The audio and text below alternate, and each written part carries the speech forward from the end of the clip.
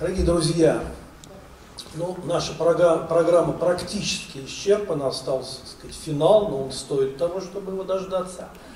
Вот, но я вот э, слушал замечательные э, песни, стихи, слушал.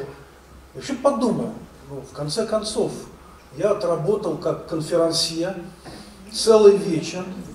Почему бы мне в конце тоже не прочитать стихотворение, как бывшего поэта? Вот. Да.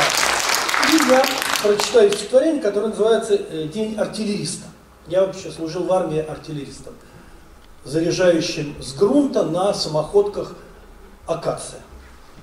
Вот такое стихотворение. Снаружи холодно и мглисто, налью-ка я себе вина. Сегодня день артиллериста, и памятью душа полна. Когда-то жизнь, меняя круто, доставили повестку мне.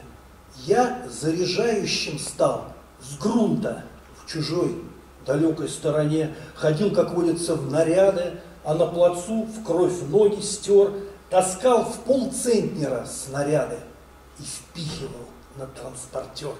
Акация не куст, поверьте, а гаубица высший класс.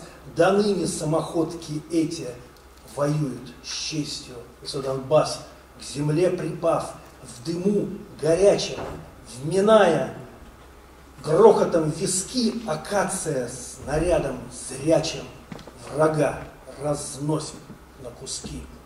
Промчалась жизнь, как поезд мимо. Заждался вечный судья, а все ж от грунта почвы милый не оторвался вроде я.